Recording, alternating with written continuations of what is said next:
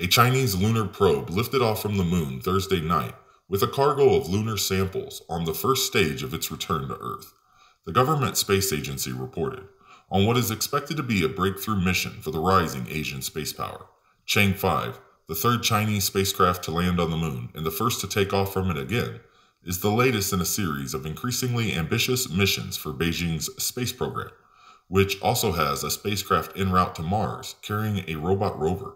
The Chang'e 5 touched down on Tuesday on the Sea of Storms on the moon's near side on a mission to return lunar rocks to Earth for the first time since 1976.